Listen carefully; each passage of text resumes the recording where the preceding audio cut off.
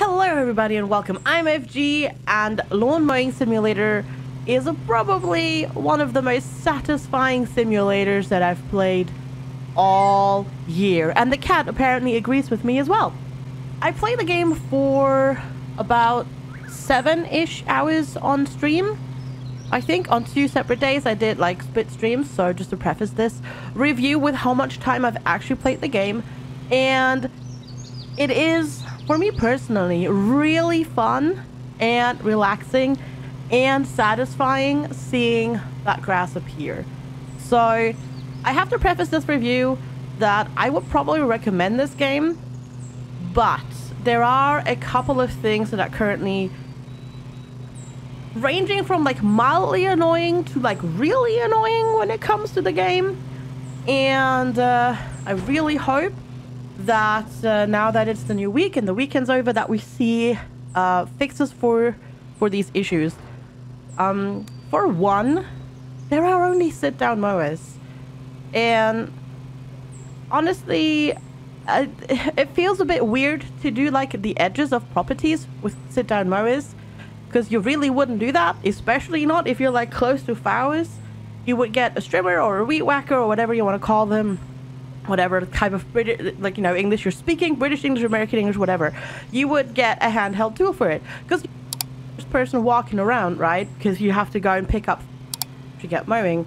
So why not have a strimmer or a weed whacker, whatever you want to call it, in there to do the edges of the property with and the edges of like flower beds because it is probably one of the most frustrating things to try and do corners with the sit down mowers who have their blades in the middle of the vehicle.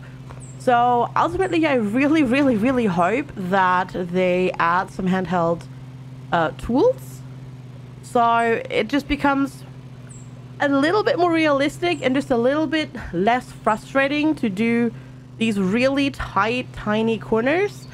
I know that gets a little bit easier once you've got the zero turn mowers and that sort of stuff and whatnot, but it just doesn't feel as satisfying to do the corner bits and it's a little bit frustrating. So I really hope that gets fixed. And then the second big thing, actually, that is that has been uh, bothering me and other people that like to achievement hunt. Achievements are utterly broken in the game. So uh, a lot of achievements don't work. You'll get them, but then every time you close the game, it resets your achievement progress. So they show up on your on your Steam while you're in game, and you get like the pop-ups. There's at least like four achievements that do that. And then you close the game and then they're just gone from your from your Steam profile. So if you're like me and you like hunting achievements, wait for an update that hopefully will become that hopefully comes in the future. Uh, that fixes that because it's a little bit annoying to like constantly see the pop up and then go away, pop up and go away, and it just keeps happening. And I'm not the only one. There's others who have even had it with more achievements, and it's just it's a tiny thing. Like it's not like anything that impacts gameplay, obviously, but it's just if you like achievement hunting, lawn mowing sim right now is a bit frustrating when it comes to that. And then the other thing, um, that's probably actually a bit more serious, and I should have probably mentioned that first, is uh, controls. Controls are not bad. You have keyboard and mouse, controller, and wheel support. So that's really cool for an indie game to have wheel support is really neat. But you can't reassign keys. So that's a bit of a bummer. Like you can't you can't just remap keys. Hopefully that's something that they'll put in because that shouldn't really be that difficult to do ultimately uh, as an update.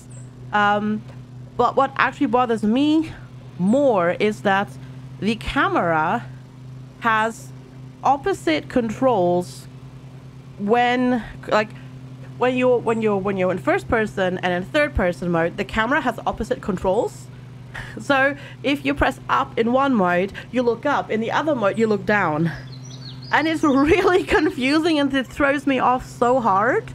And i don't know who made that decision but it's it's just really confusing and it just it just throws me off every time I go and like I'm finally done mowing a lawn, and then I go the next one, and then I have to go run around in first person pick up the you know the, the little bits and bobs that lie around, so you don't dam- damage your mower, and it's like a different control, and then you've just gotten used to that because you only usually pick around like three to six things up. Uh, before you go back to mowing, and then you drop on the mower, and then the control is different again. And it's like, no, what is happening? Stop it. So I really hope that you can invert controls but it inverts it for both so that then, you know, it, it just changes it around. So if you have, you know, look up, like, or moving, moving the thumbstick up, it sit down mode looks up. And in first, like, or in third person mode, I should say, sorry. In third person mode, it looks up. In one, in first person mode, it looks down. If you uh, invert the controls, it just inverts it. So that with, you know, it's like, no, just give us the same controls for both modes because it's so confusing and strange and it's it's I don't know, it just throws me off. It's not a big thing.